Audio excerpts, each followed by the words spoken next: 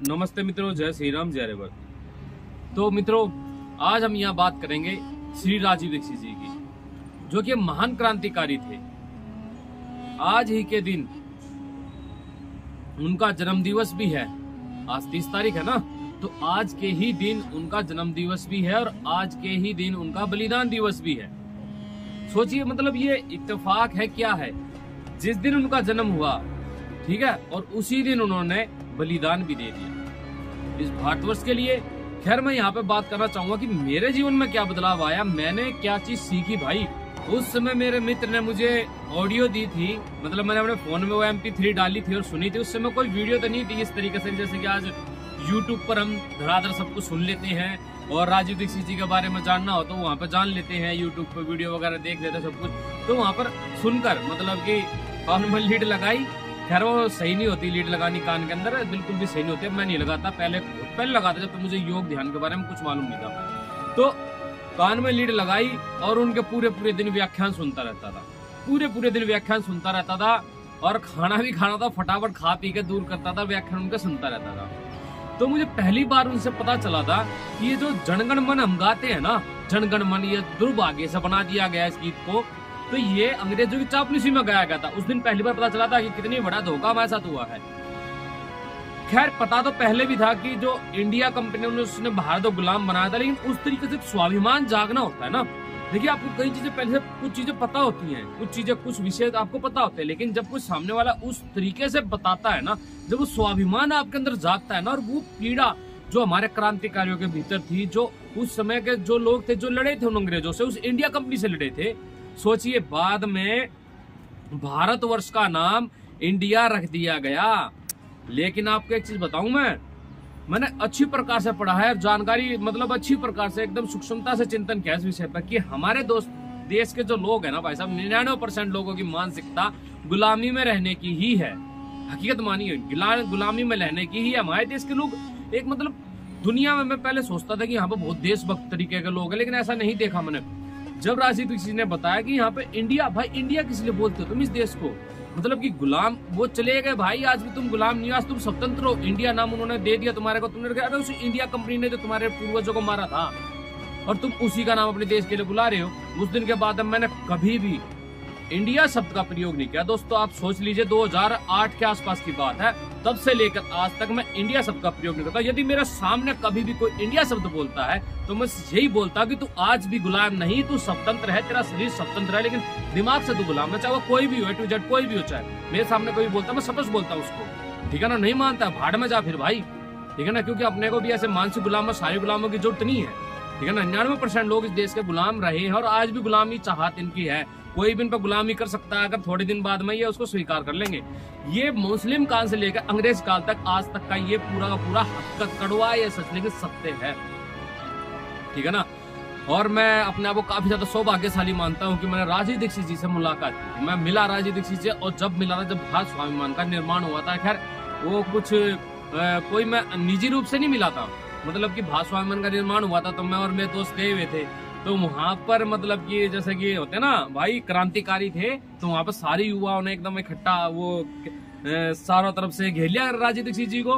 कोई कुछ पूछ रहा, कोई पूछ रहा, मैंने भी एक दो दिन बाद पूछी, और मैं बता नहीं सकता, मैं अपनी खुशी का ठिकाना नहीं बता सकता। जब मैं पहली बार राजीव दीक्षित से मिला था बाल विमान का जब निर्माण हुआ था उस समय के, उस समय, और मतलब अलग ही आनंद था। आज के तो बहुत सारे युवक जब सुनते होंगे तो उनके एकदम बहुत बड़े प्रशंसक बन जाते होंगे, सोचते होंगे, काश हम भी राजीव दीक्षित जी मिल पाते, उनको सामने सामने देख पाते, है ना? भाई, मैं तो काफ़ी भाग्यशाली मानता हूँ अपने आप को कि मैं चाहे कुछ पलों के लिए ही उनसे मिला, उनको देखा, लेकिन कुछ पलों के लिए ही मतलब ऐसे ऐसी महान आत्मा है ना दोस्तों कभी कभार पैदा होती है, सच बताता हूँ। जो समझौता नहीं करते हैं, बिल्कुल भी चाहे कुछ भी हो, ये चीज़ मैंने वहाँ से धारण किया दीक्षित से। मैं कभी भी अपने जीवन में समझौता नहीं करता हूँ दोस्तों। मुझे चाहे सब कुछ त्यागना पड़े, सब कुछ छोड़ना पड़े, मैं छोड़ दूँगा, कोई दिक्कत नहीं, और मैं छोड़ देता हूँ, सही बताऊँ। मैं सब कुछ छोड़ने में एक सेकंड लगाता। लेकिन मैं कभी भी अपने जो देश प्रेम और उन क्रांतिकारियों की पीड़ा है ना, उनके साथ मैं कभी समझौता नहीं करता भाई। चाहे सारी दुनिया भीड़ कहीं पर चल रही हो, भीड़ के विपरीत चलना हो तो चलने को तैयार रहता हूँ हमेशा। ये गुण मैंने राजीव जैसी से प्राप्त किया है। ठीक है ना? और मैं यही कहूँगा कि भाई, अपने स्वाभिमान को मार के मत जियो भाई। ठीक है ना? तुम्हारे पूर्वजों को, तुम्हारे क्रांतिकारियों को, तुम्हारे अपनों को जिन जिन अंग्रेज़ों ने जिस इंडिया कंपनी ने मारा, उसी का नाम तुम अपने देश के लिए बोलते हो। है? कितने चुल्लू भर पानी में डूब मरने की बात है ना। चलो ठीक है भाई, भारत सरकार है, एक लोकतंत्र चल रहा है इस देश के अंदर, जो कि एक कायरो वाला तंत्र है, और उसके अनुसार और उसके संविधान के अनुसार इस देश का भेड़ा कर किया गया है।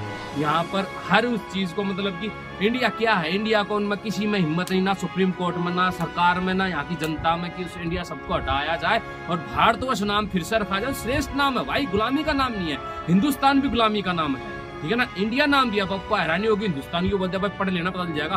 भारतवर्ष आर्यवर्त ये श्रेष्ठ नाम है, कभी से ये हमारे स्वतंत्र नाम है, हमारे देश के, हमारे ऋषि मुनियों के रखे हुए नाम है तो गर्व और स्वाभिमान हमारे उसके प्रति होना चाहिए, ना तो हिंदुस्तान के प्रति होना चाहिए, ना ही इंडिया के प्रति होना चाहिए। समझ में आई बात? क्योंकि हमारे पूर्वज अब महाभारत पढ़ लो, रामायण पढ़ लो, कुछ भी पढ़ लो, हर जगह आर्य पुत्र आर्य बनने को ही कहा गया, किसी को भी पढ़ लो। ठीक है ना? तो आर्यों का निवास स्थान तो भाई आर्यवर्त कहलाएगा, लेकिन आज तो निन्यानवे परसेंट वही है, बेईमान है और स्वाभिमान है नहीं, देश के लिए समझौता कर जाते हैं। ठीक है ना, ऐसे ऐसे तरीके का लोग क्या फ़र्क पड़ता, कुछ फ़र्क नहीं पड़ता भाई। राजीव दीक्षित जी वास्तव में एक जीवन जो जी गया राजीव दीक्षित जी गया मौत ऐसे ही होनी चाहिए, जो कि देश के लिए लड़ते लड़ते, देश के लिए, देश के लोगों को जगाते जगाते बेसक कोई जहर देकर मारे चाहे कोई किस प्रकार से मारे, बलिदान दिए गए। ठीक है ना वरना क्या? हमारे तुम्हारे जैसे क्या? भाई, कुत्ते की तरह मर जाते हैं, बड़े होते हैं, बूढ़े होते हैं, बीमार होते हैं, सड़क मर जाते हैं, कोई मृत्यु है ये? दुनिया मरती है, कुत्ता मरता है, जानवर मरता कुछ मरता है, ऐसे हम मर जाते हैं। ठीक है ना क्या तो योग में इतना उन्नति कर जाओ कि स्वयं से ही घर त्याग कर दो। ठीक है ना यानी कि शरीर, ये घर, यहाँ से निकल जाओ, जो आत्मा निकाल अपने अपनी इच्छा से निकाल दो, या फिर देश के लड़ते लड़ते मर जाओ। सिर्फ़ ये दो तरीके की मृत्यु है, शेष बाकी तो सब कायरों वाली मृत्यु समझता हूँ मैं, ठीक है ना? तो ये चीज़ है भाई राजीव दीक्षित जी के बारे में आप लोग उनको पढ़िए, सुनिए, समझिए, आपके अंदर देशभक्ति की भावना घुस जाएगी। आपको बहुत अच्छी अच्छी जानकारी मिलेगी उनको, यदि आप समझते हैं उनको पढ़ते हैं तो।